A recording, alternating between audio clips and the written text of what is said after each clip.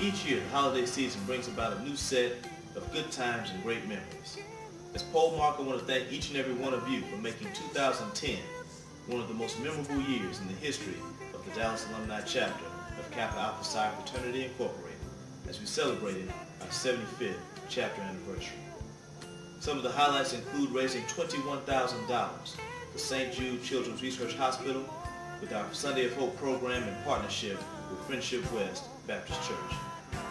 We welcomed our grand polemarch, Dwayne M. Murray Esquire, to Dallas in February and again in March, and we hosted the Southwestern Province Council for the first time since 1978.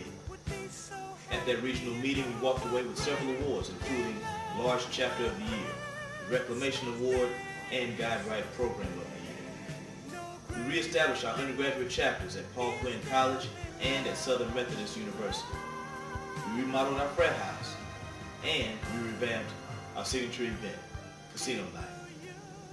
Our Kappa League program, under the direction of Ryan Mitchell, who is the Burt V. Watkins Guide Right Director of the Year, has grown to 85 young men. We hosted our first Beautillion, and we continue to expand our Guide Right activities with our partnership with Big Brothers, Big Sisters. We awarded over $10,000 in scholarships and established a dedicated scholarship to Paul Quinn College.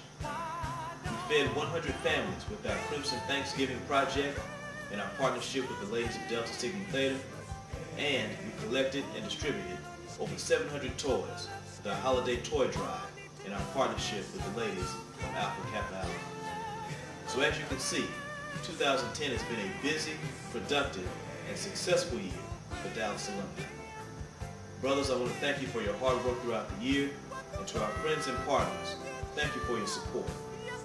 However, 2011 will be the most memorable year for all of Kappa Alpha Psi as we celebrate 100 years of Phi Nu Pi and 100 years of honorable achievement.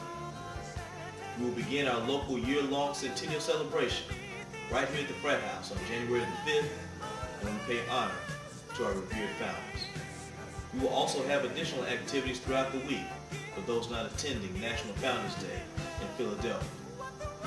So from all of us to all of you, Merry Christmas and Happy New Year.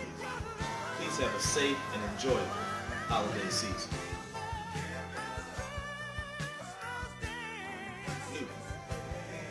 Now is the time to come home to Kappa. Where will you be when the Kappa clock strikes 100?